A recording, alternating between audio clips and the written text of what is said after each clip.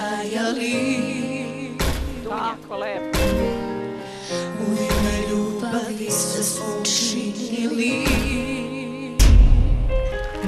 Evo je gotovo. Ti kaznio si srce moje, a ja sam ti dopuštala. Jedno drugo mi smo bili, loša procena.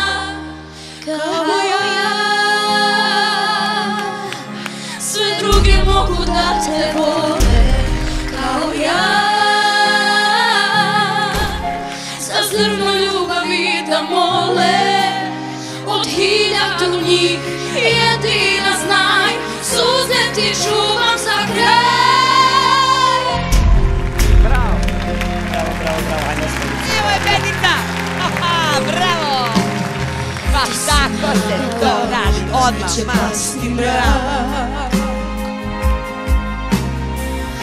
Ja sam drhtala, ti pravio se jak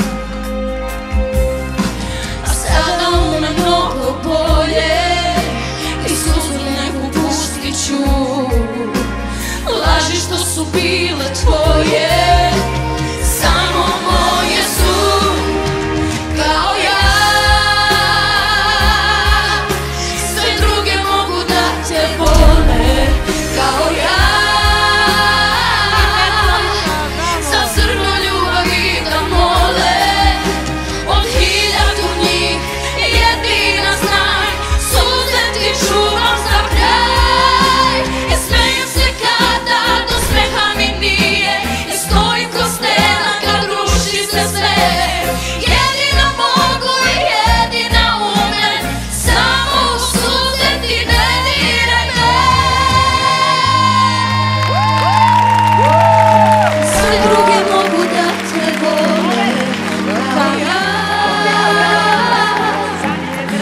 Za zrno ljubavi da mole Kao ja